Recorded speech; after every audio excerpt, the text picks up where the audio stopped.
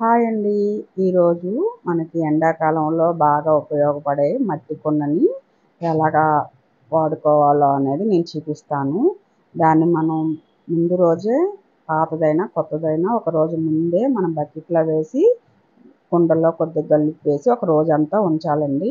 ఉంచిన తర్వాత ఆ గల్లుప్పుతోటే మరుసటి రోజు మళ్ళీ గల్లుప్పు తీసుకొని శుభ్రంగా కడుక్కోవాలి కుండని. లోపలంతా గల్లుప్పుతో కడిగితే ఆ మట్టి వాసన అనేది పోతుందండి. చూసారా? కుండ పైన కుండ లోపల సో కూడా చెయ్యెట్టి శుభ్రంగా కడగాలన్నమాట. అలా కడిగిన తర్వాత మనం మళ్ళీ నీళ్ళతోటి రెండు సార్లుగా కడుక్కోవాలి కుండని. ఎంత శుభ్రంగా కడుక్కుంటే అంత మంచిది. ఇప్పుడు ఇంకొకసారి మళ్ళీ మంచి నీళ్ళతో శుభ్రంగా కడుక్కోవాలి. చూసారా? నేనైతే ఎలా కడిగాను?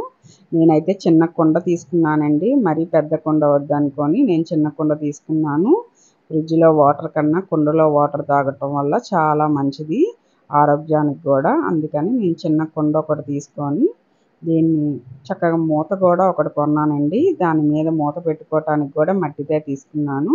ఒక స్టాండ్ పెట్టుకొని దాని మీద కుండ పెట్టుకొని మనం వాటర్ పట్టి దాని నిండా వేసుకోవాలన్నమాట. ఇలా వేసుకున్న తర్వాత ఇలా వేసుకున్న వాటర్ని ఒకరోజు నైట్ అంతా మూత పెట్టి పక్కన పెట్టుకోవాలి. నేనైతే ఒక నాప్కిన్ తీసుకొని దాన్ని బాగా తడిపి కుండ చుట్టూ చుట్టానండి. ఇలా చుడితే మన కుండలో వా ఇలా చుట్టడం వల్ల మన కుండలో వాటర్ ఇంకా చల్లగా ఉంటాయండి. ఎండాకాలంలో ఇలాగా కుండ తెచ్చుకొని ఇలా వాటర్ వేసుకొని తాగటం వల్ల మన ఆరోగ్యానికి కూడా చాలా మంచిది. ఫ్రిడ్జ్లో వాటర్ అయితే వేడి చేస్తాయండి. ఇలాగ మీకు నచ్చినట్టయితే లైక్ చేయండి షేర్ చేయండి సబ్స్క్రైబ్ చేయండి.